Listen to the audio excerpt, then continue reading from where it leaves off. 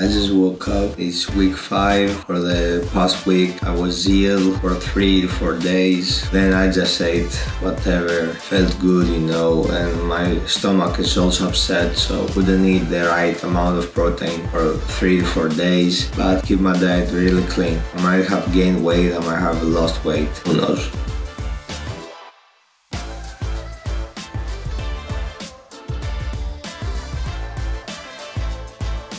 So I came out 86.1, which is like 1.5 kilo down.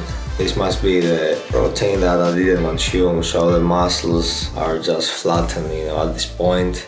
This also goes to show you that protein is really important and we should not forget about it. I will hit work and I'll show you my first meal after work.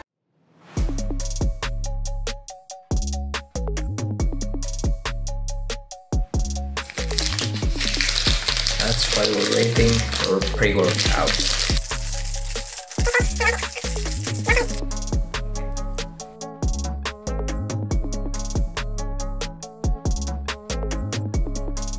Just took a bath and I'm gonna sleep now.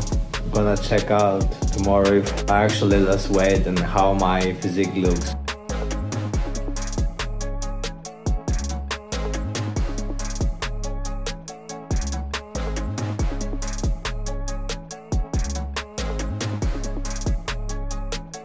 Came out 85.4 I don't know if it's actually my lowest point or it's just because I didn't consume enough protein the past week so we will see because uh, this week I will consume the proper amount of protein each day. Thanks for watching.